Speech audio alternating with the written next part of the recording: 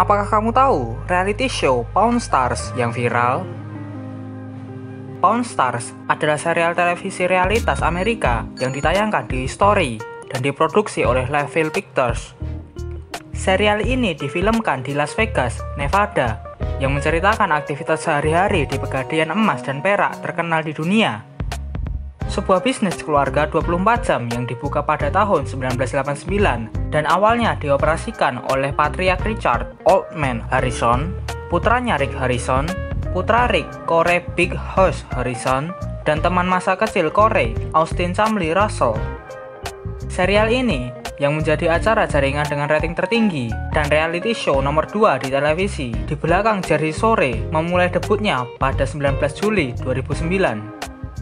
Serial ini menggambarkan interaksi staf dengan pelanggan yang terdiri dari pembelian, penjualan, dan gade artefak, menawar harga, dan mendiskusikan latar belakang sejarah artefak tersebut dengan narasi yang diberikan oleh keluarga Harrison atau Chamlo.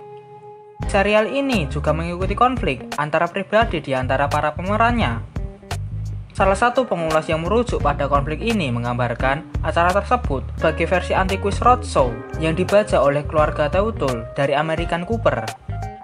TV Guide memberikan deskripsi serupa, menyebut acara tersebut satu bagian anti-quiz roadshow, sejumput LA Link, dan sejumput COPS.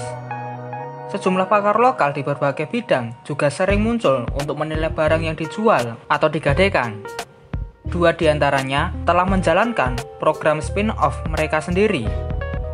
Pemulih barang antik atau seniman logam Rick Dell adalah bintang dari spin-off pertama seri ini, American Restoration, yang ditayangkan perdana pada bulan Oktober 2010, dan ahli mekanik atau restorasi, mobil Danny the Conqueror, membintangi di spin-off kedua, Counting Cars, yang memulai debutnya pada 13 Agustus 2012.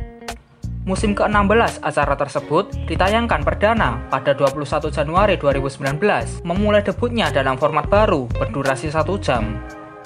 Serial ini telah menjadi fenomena global, disiarkan di 150 negara dan didubbing dalam 38 bahasa.